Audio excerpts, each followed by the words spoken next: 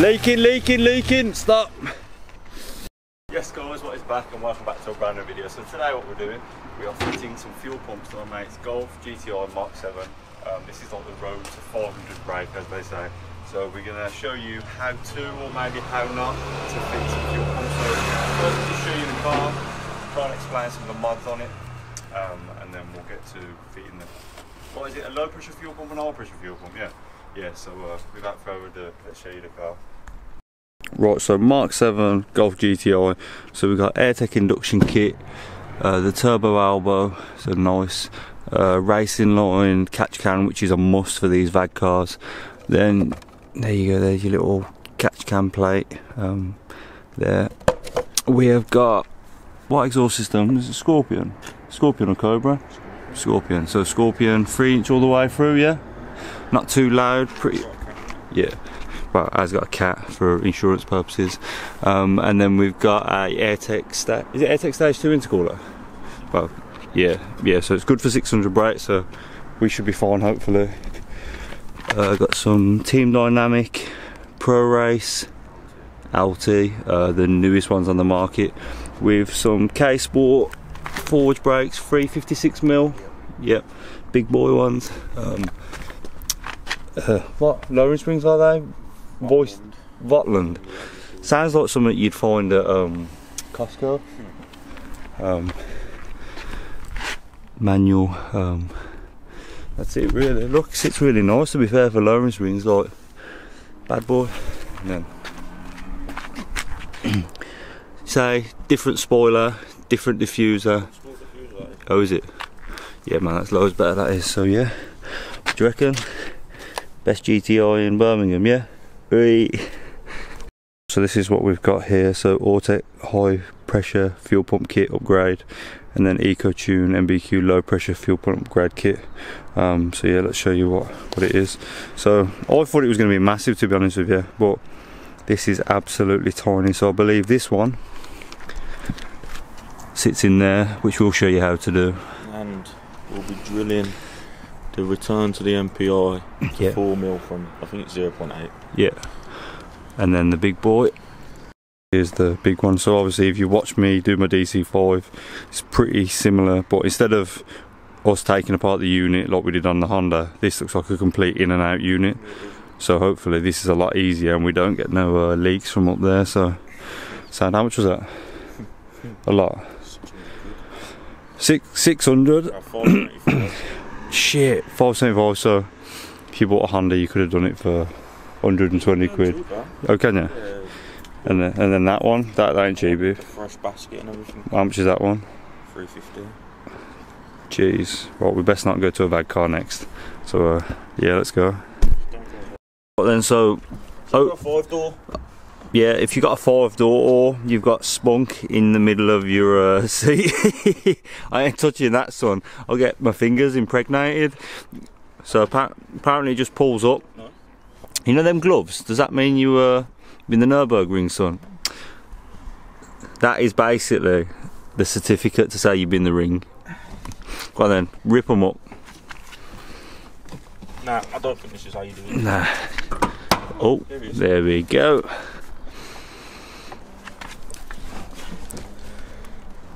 What the? You do it from the sides? Yeah, yeah, pull it from there. Yeah, you can pull it because it's your car and you can snap it. No one sits back here anyway. Nah. Yep. Boom. Easy as that. Right, so what you want to do is get a cheeky little flathead, like so. Pry it underneath and you can pull it out. That's a little like rubber, rubber bung. Oh, is it? Otherwise you can't get it from past here, so push it through, feed it through and get it out of the way. Right, and then there's two, there's one connector and a little fuel send. Right, lovely jubbly. Let's get that out. So one's going to be a push pin. Well, they're both going to be push connectors. That one should be like, oh, it's the horrible VAG connector in it that's like, feels like you're going to snap it. Right then, so what we did was struggle to get like the actual uh, fuel cap off. So, mate, it just going to keep coming and coming, is it? I hope not.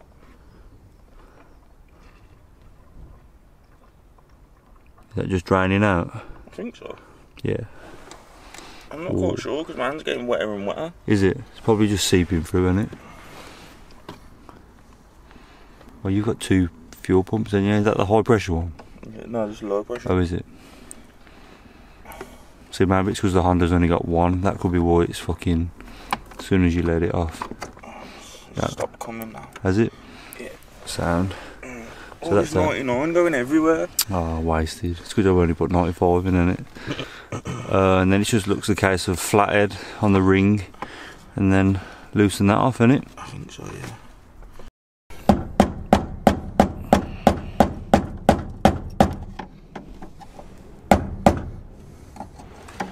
Any movement. But then, so what you're going to want to do is don't give up with the hammering. We tried with a rubber mallet and a flathead. Then we got the extension bar, but we literally just tap on it, and it will come loose. And then literally, Hit these bits. what bits? What the little sticky? Cut out bits. Oh, the inside rings. Yeah, like I started there, but Yeah. it's no good. Needs to be in these bits. Okay. So do that, and then pretty much that should pull out now, shouldn't it? I think there's another connection. Is that? Yeah, I think so. If the Americans are the same as us, there's another connection. Odds are. There ain't. Oh. Oh, that V power's gonna get wasted, you know. Lots of it. Should have ran the car to empty. It's on red. Oh, is it? Yeah. Oh, it's fuel wasted though, isn't it, kid? So easy as that, literally. The car will probably be full of fuel, so you can either, either A, just drain it back into your fuel tank. Uh, like I say, two connectors, that one, that one. You got your seal, pull straight out, and there's your new one, which looks pretty much identical. What CC is that? Is it a CC or they don't say? It'll float up to 600 brake. Yeah. Okay, so there's no. So yeah, that's the VAG equivalent to the Walbro. What four four hundred or something like that, I maybe. believe they are 450s in there. Yeah. I believe, but nobody knows unless you open Yeah. them up. There you go. And then you're gonna reuse the seal, yeah? You don't get a seal with that one, no.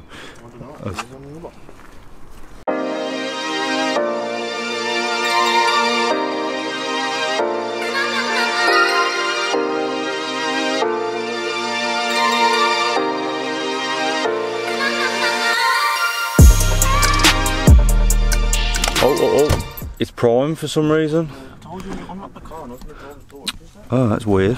Um, right, so it's literally is quite simple, really. So you've got the holes. Um, if you can see, I can't see any yet. So if you see there, oh come on, focus car, focus. Oh, Uh, man, it's because it's because it's dark. Yeah, that, that'll do. Um, so basically, if you see, see like the tab there. So if you put that tab, it'll line up there.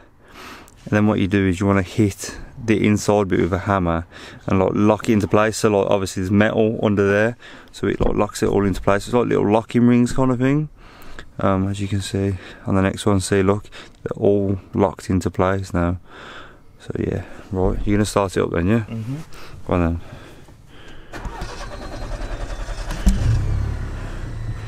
There we go, so you can hear it.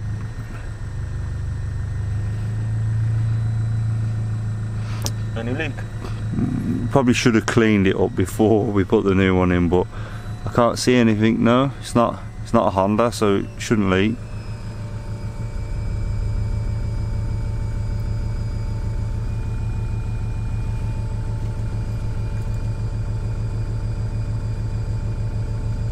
So it threw up a little misfire for like a couple of seconds. We turned it off, turned it back on, and obviously that it seems to have gone now. So we think that obviously because the pump and the tank had like no fuel in it, the pump's gone right. I need loads of fuel.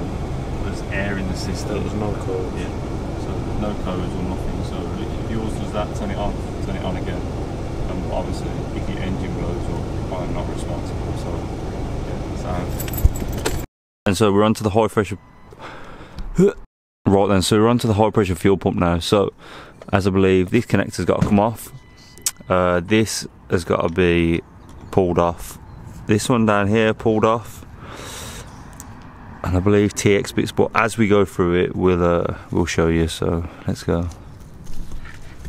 Oh my Jesus!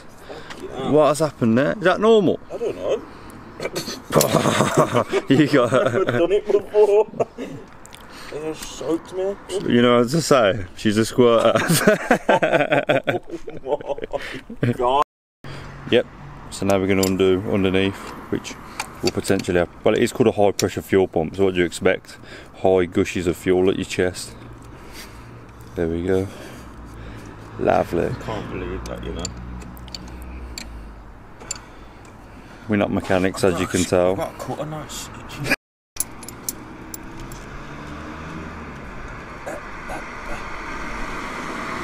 If in doubt, wiggle it out. No, that is. Right then, so there's two TX bits. What are they? TX? TX. They're them stupid flipping triple squares. Oh, are they? So we'll do that, that, and then I'm guessing it will just pull off, won't it? Right, so if you get to this point, um, obviously you've undone that banjo bolt that goes into the bottom of the fuel pump. So you're gonna like wiggle it, like I wiggled it left and right, and then put up, just put like one finger or two fingers on the bottom of this and try and free this. And then once this starts moving, if you twist this over there, so you get the bottom bit over there, push down on the banjo to the fuel line, and then you'll be able to pull the fuel line that way, take the pump that way, and then now, do you want to be my magical assistant? Got it much over there now. Oh God.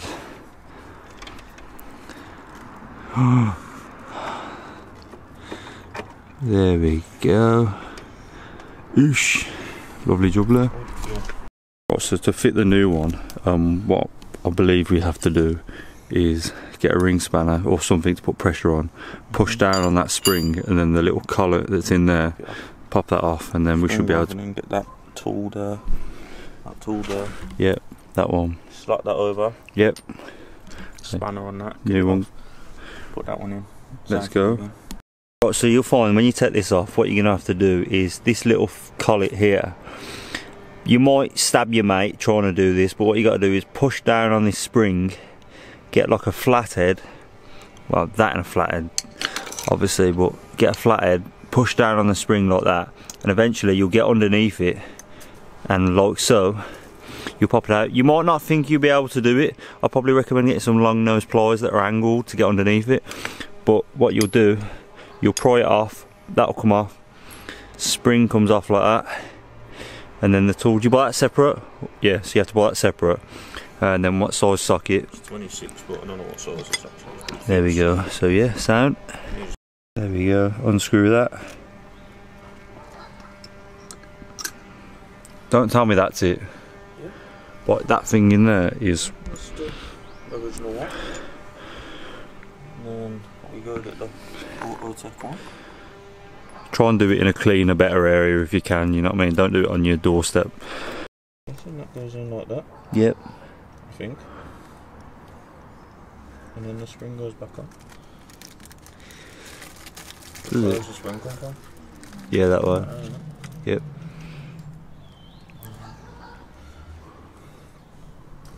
Right then, so what you're gonna have to do, these collets here are like separate. So if you stop moving the camera, Full of fuel. don't matter. Oh well. Right, so if you push down the spring, these individually like lock into the Doesn't look like seated right to me. what that little gap there. Well, it looks it. It could be just more over one side than the other. You know what I mean? But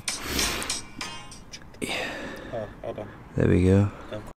Right, so what you're going to do, you're going to need one of these. If you haven't got one of these, if you click down below in my link, uh, you can get one of these from Amazon.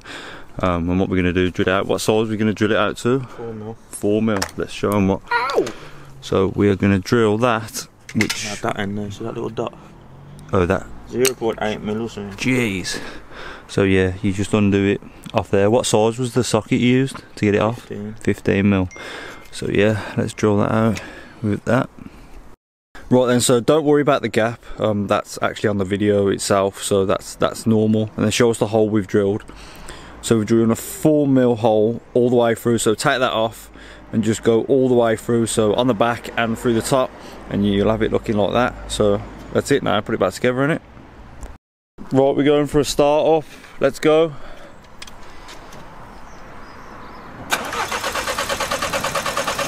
Leaking, leaking, leaking. Stop. Take two. Someone had premature ejaculation then, and uh, three, two, one. No, it's leaking. Stop. I'm only joking. Hey, you toss that.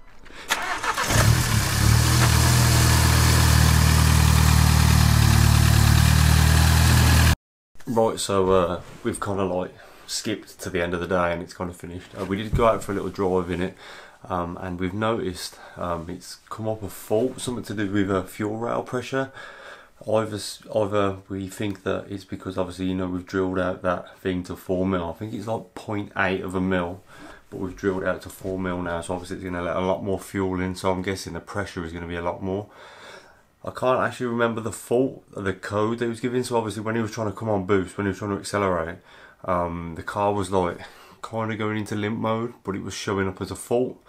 Um, so we either think it's either A because obviously the new stuff's been put on, got drilled out, and obviously the car hasn't been mapped to suit obviously the more fuel in and the more pressure that it's supposed to handle.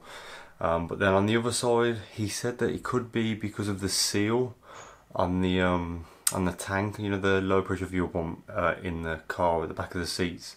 Um, said that the seal potentially could be not like stuck down enough, so it could be either of those two. Um, he said like next week he's going to try it um, and see if that see if that that's an issue. Just see if the seal isn't correctly seated. Um, but he has spoke to someone that actually does fit those, and apparently the cars don't like it if it's not mapped in. Um, so yeah, it's one of those, I guess. But you do understand it is pretty easy to be fair. I think the only thing I wish we had was long nose pliers with that were angled. I think then we would have been able to like pry underneath it because it was quite like I've cut myself, I've cut my hand and my fingers and that. So that was the only hard bit really was on the high pressure fuel pump where you have to get the little collar out. Um, but other than that, I would genuinely say you could do it yourself. Um, I'm not like really mechanically minded, do you know what I mean? And I don't think it was that bad. So if anyone is thinking about doing it, I'd probably say give it a go. The low pressure fuel pumps, literally two clips and bosh straight in. Um, but the other one is a bit more technical, but it's not that bad. As long as you can push the spring down and get the collet off, it's pretty simple.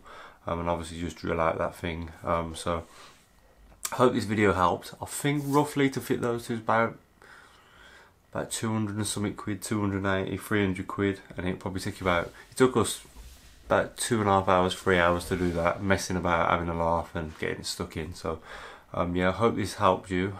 Um, next, I think we're going to be fitting the upgraded turbo on it. So we're going to be fitting a big turbo and then it's got, getting mapped in like a few weeks. So yeah, some content for you there. Whilst obviously the DC4 is doing its thing. So um, yeah, hope you enjoyed this video. Um, if you're new here, please like, share, subscribe. It all massively helps out the channel and helps out me. Um, so yeah, I'll see you on the next one, guys, and uh, thank you for watching. Peace.